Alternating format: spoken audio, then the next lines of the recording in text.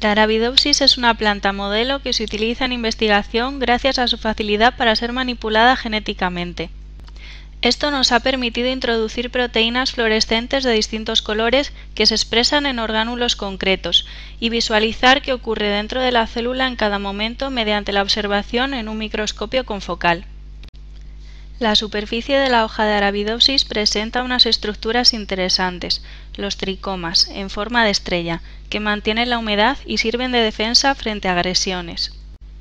Si seguimos profundizando nos encontramos con la epidermis, donde destacan los estomas, esas aberturas por las que la planta realiza el intercambio gaseoso. En nuestra planta podemos ver unas esferas de color azul que corresponden a los perosisomas, unos orgánulos muy interesantes y poco conocidos que podemos ver porque expresan una proteína que fluoresce en azul. Y si avanzamos aún más, nos encontramos con las células del mesófilo, donde destacan los cloroplastos, donde se realiza la fotosíntesis y que se ven fácilmente porque autofluorescen en color rojo. Las pequeñas manchas en amarillo son las mitocondrias, que expresan una proteína amarilla fluorescente.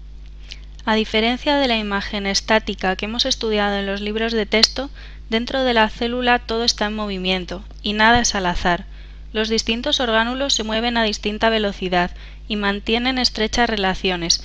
En ocasiones viajan juntos o por separado y continuamente se producen intercambio de compuestos entre ellos que permiten el funcionamiento de la célula.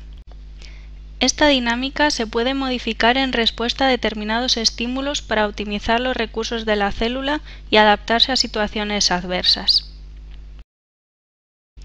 Y todo ello, a su vez, está gobernado por el citoesqueleto, que constituye la red de autopistas dentro de la célula. La próxima vez que mires una hoja, piensa en el universo que hay en su interior.